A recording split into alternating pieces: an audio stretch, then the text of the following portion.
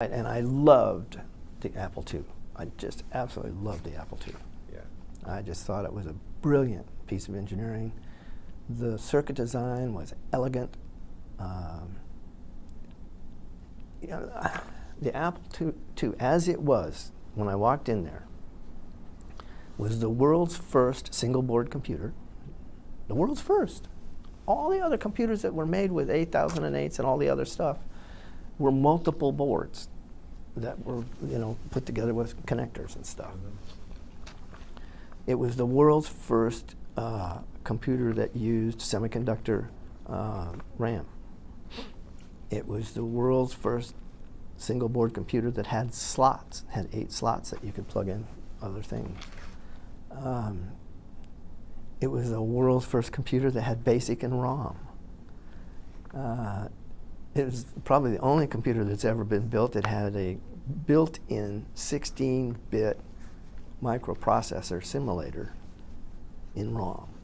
Uh, I, I, could go on. Mm it, it, uh, this was one elegant, beautifully crafted design that Woz had done.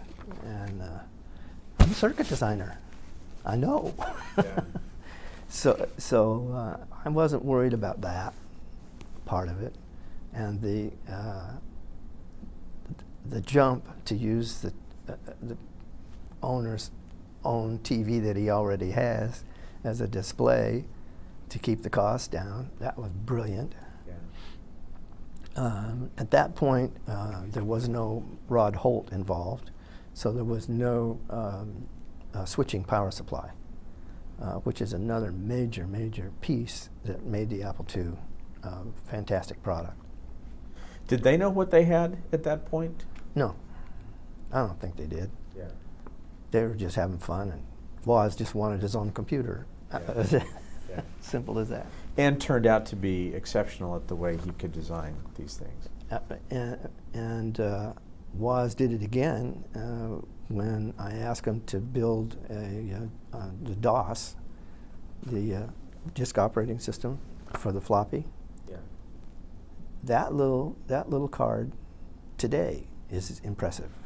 There's not an extra bit anywhere in that design. None. And it did everything superbly.